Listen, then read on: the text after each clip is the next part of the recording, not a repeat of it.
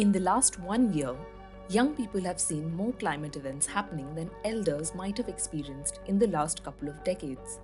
So, it is no surprise that 2021 has been declared as the fifth hottest year on record.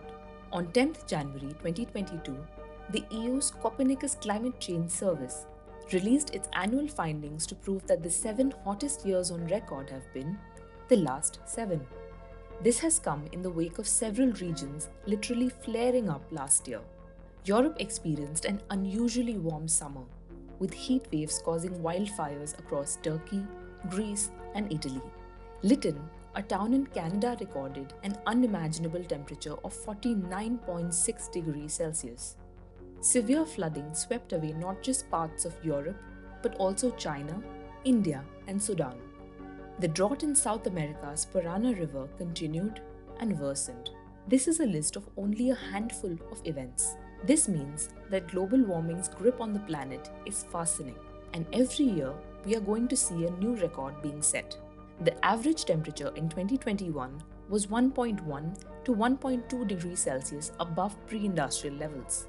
Carbon emissions had remained consistent for hundreds of years till the Industrial Revolution began pumping huge amounts of carbon dioxide into the atmosphere. The hottest years till now have been 2016 and the unforgettable 2020. At the Paris Agreement in 2015, countries committed to limiting greenhouse gas emissions to 1.5 degrees Celsius above pre industrial levels. So far, they have only risen.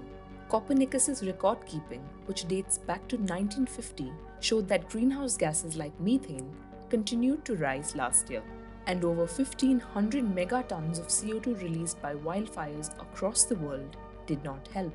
CO2 emissions were 414.3 parts per million, up by 2.4 parts per million from 2020. Cumulatively, while the rate of carbon dioxide release has not sharply increased, methane emissions, which are 25 times more dangerous, grew more than they have in the last two decades.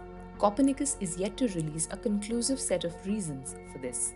Apart from Copernicus, the three other agencies that also release analyses on the climate are NASA, the National Oceanic and Atmospheric Administration, and Berkeley Earth. Most of these analyses have been observed to match one another closely. Climate change is not just about the planet getting warmer every year. It is offset by a number of factors like the La Nina, for example, which brought down the average temperature last year. A cohesive look at glaciers, disaster patterns, land and ocean temperatures, sea levels, etc., points to the changes that the Earth is going through.